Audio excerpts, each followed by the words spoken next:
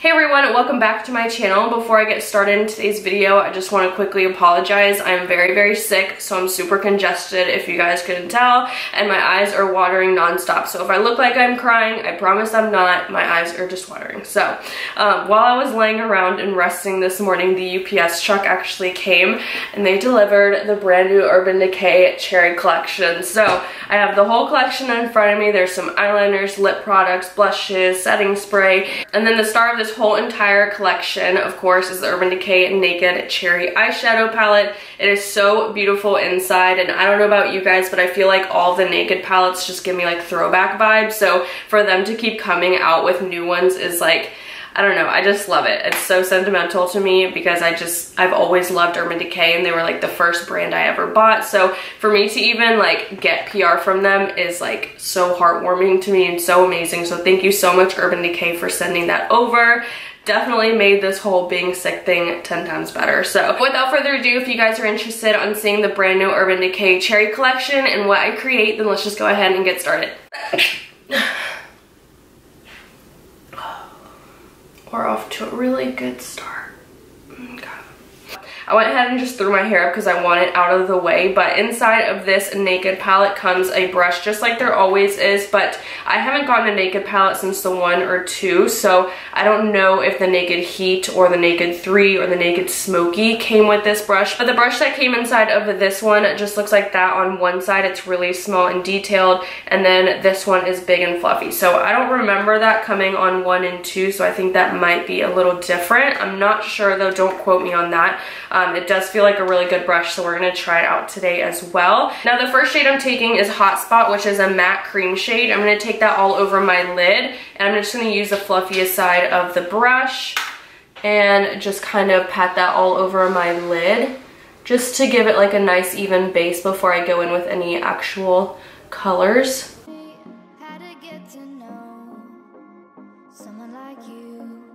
The thing that I'm already liking just looking at this eyeshadow palette is there are a lot more mattes than like the Naked 1 and 2 because that was my biggest complaint. I think the Naked 1 only had like one or two matte shades, whereas this one has one, two, three, four, five, six, seven matte shades, which is absolutely amazing. So you have like the lightest one right here and the darkest matte right here, which is really, really good. This first shade is really creamy and really pigmented as just an all over matte white shade.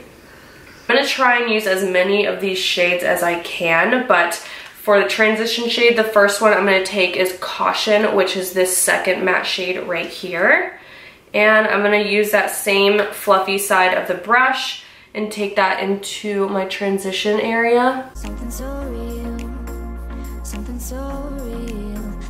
So I feel like this caution shade might be too close to my natural skin tone, so I'm gonna go ahead and just move on to the next matte shade, which is this one called Feels. It's just a really pretty like rosy, I feel like it's almost the color of my sweater. Um, so I'm just gonna go ahead and move on to that one since caution isn't really doing much. And I'm gonna take that into my transition area. Okay, yeah, that one's definitely showing up. Ooh, that is beautiful. This shade is definitely very pigmented. This is my second time dipping in and you can definitely build it up as you guys can see. It's pretty pink, so I really, really like that shade. I'm gonna go ahead and do the same thing on this side. I just wanted to show you guys, this is the amount of fallout. It's really not a lot right there on the pan, and there's none on my face right here. So, so far, so good. Now, the next shade I'm taking is like a warmer peachy, peachy, peachy pink color, which is Juicy right here, right underneath that Feels color. And I'm just gonna try it out. I'm just packing that right on top of the shade Feels that we put down for the transition area. I'm not really expecting it to do much. I'm just kind of seeing more how it layers on top of each other like the same level of lightness, so I feel like Feels is just cool toned and this one's just more peachy, warm toned. So um, I'm not expecting it to go any darker. I think it's definitely just warming up the look a tad bit, but not anything crazy. I can definitely tell they're you know, layering on top of each other nicely. I don't think one's getting patchier or anything like that. I think it's definitely layering on there beautifully. Moving up to the next matte, I'm gonna take Binge, which is this like deep purplish berry color.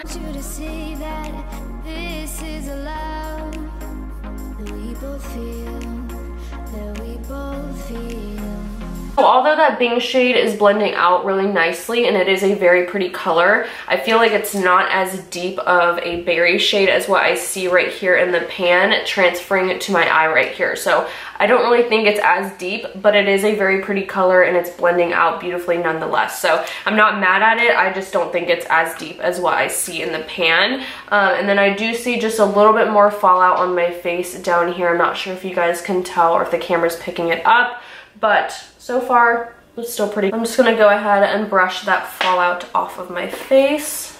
The next matte shade is Devilish, which is a little bit deeper and a little bit redder than Binge. So I'm to take that on the smaller side of this brush and I'm going to work that onto my outer corner and my crease as well.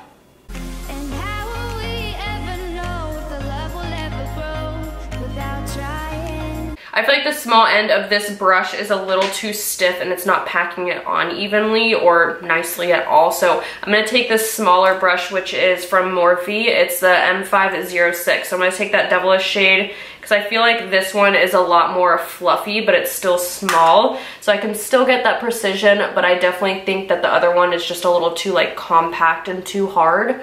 So I'm gonna use that to pack it on.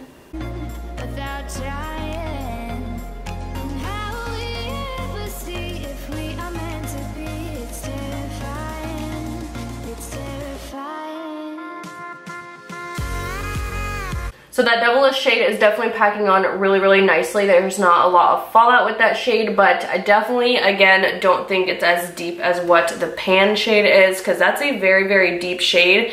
And I feel like this isn't that much deeper than this side right here. So I'm now going to take the shade Privacy and do the exact same thing. And I am going to take that Privacy shade on that same Morphe M506 brush and really try to deepen it up.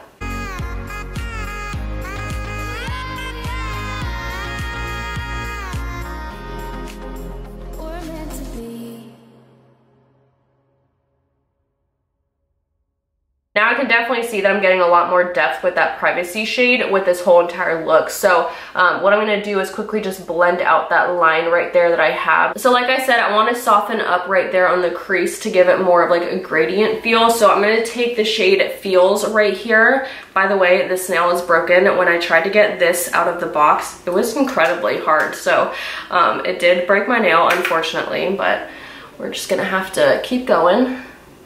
And I'm taking that Feels shade with that same brush that came inside of the palette and just kind of going over it.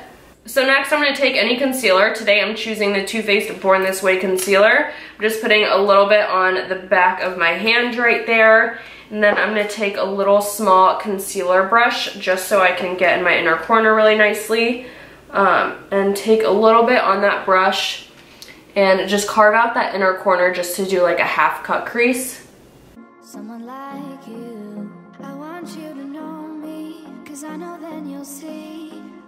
So now that I took like 8,000 years to carve out that inner corner, I'm gonna take the shade Bang Bang, which is this really, really pretty pink kind of shimmer shade. So I'm gonna take that shade right there in the inner corner where we carved it out. I could just stop here because that inner corner shade is absolutely stunning and I love this look so far, but I did tell you guys that I was gonna try as many shades inside of this palette. So I'm gonna use the Young Love shade right here and I'm gonna take that actually on the small end of this brush and see how it performs with that. And I'm gonna put that right in the middle of the outer corner and the inner corner. Yep, that's beautiful. I absolutely love that Young Love color. I'm just gonna slightly kind of diffuse that by like brushing it up against the inner corner. Perfect. Perfect. I love that shade. Have quite a bit of fallout, but it's not really an issue as long as you have like a big fluffy brush to kind of sweep it away as you go. Wow. Wow, I love that.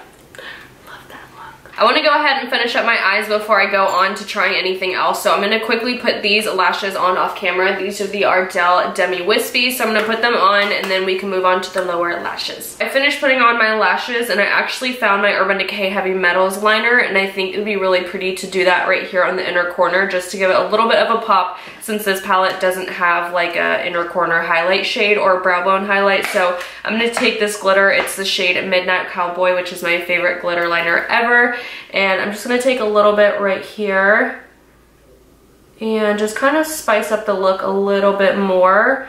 I was gonna do it right here, like above my crease, but then I remembered that the Back Talk palette tutorial that I did with Urban Decay was very similar. It's not exactly the same as this, but it's obviously the same tones. I just like this palette a whole lot more, um, but I did wanna add just like a little pop of something. So just adding a little bit of that glitter right there. So now I'm gonna do the lower lash line. I'm gonna take the shade Feels right here, and I'm gonna take it with a flat kind of brush like that and this is from Alamar Cosmetics. It's their little brush set that came together. So I'm just gonna take that and kind of smoke out the lower lashes just to kind of tie the whole look together. Now I'm just going to dip into Devilish right up here with that same brush and really take it close up to the lashes. So this collection actually came with two new pencils and this is their 27 Glide On Eye Pencil, which is my favorite eyeliner. Um, this one's in the shade Black Market and then this one's in the shade Love Drug. So I'm gonna swatch them both on the back of my hand to see Oh gosh, I'm gonna break another nail, I swear. Right, so I think Black Market is like, I don't know if it's black or if it's like a smoky dark gray color, but that's what it looks like. And then the other one, which is Love Drug. Ooh, that one's really, really pretty. That's like a really pretty deep berry color. So I think I'm gonna do the deep berry shade, of course. Um, and just put that right there.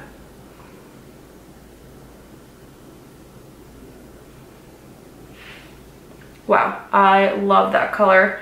These eye pencils are like some of my favorite eye pencils ever that I've ever tried because they last so long and they're so pigmented. I use them all the time. That's gorgeous. I love that. So I've completed the eye look and the next item in this collection is the Naked Urban Decay Cherry Highlight and Blush Palette, which is so beautiful when you open it up. It has like two different highlights. I probably won't use, ooh, actually that one would have been really pretty on the inner corner. Okay, I might try that even though we've already done something on the inner corner. I'm gonna try that real quick because I feel like that color would be really pretty.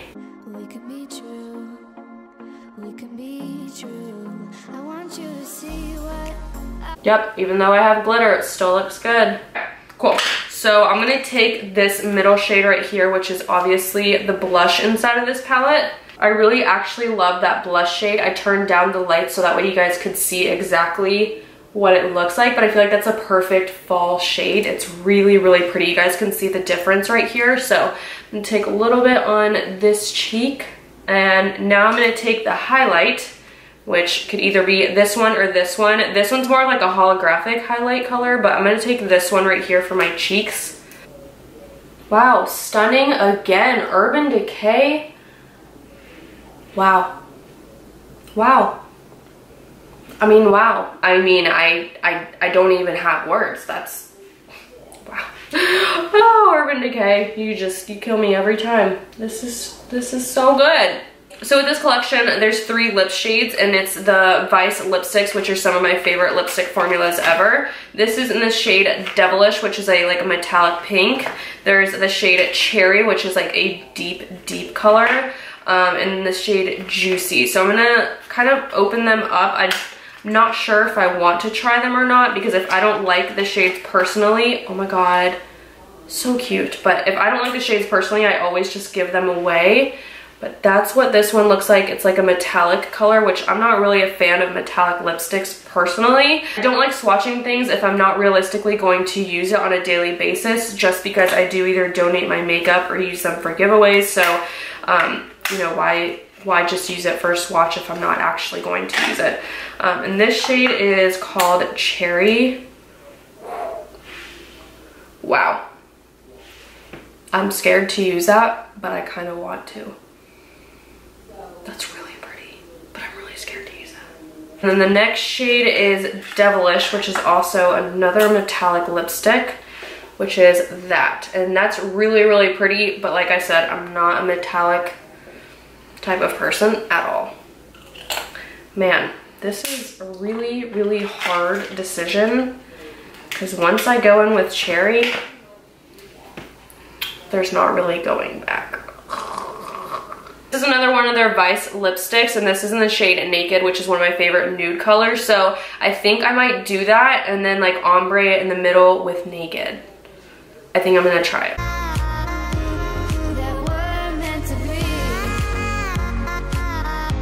Alright, so that's cherry by itself. Color cherry is very, very pigmented, um, which is a good thing if you really like the color. I'm so not used to like super dark lipstick, so I don't know how I feel about this. It's the Urban Decay All Nighter Cherry Scented Long Lasting Makeup Setting Spray. If you guys have never tried their makeup setting spray, it will seriously make your makeup last all day long. So I'm gonna go ahead and spray this on my face.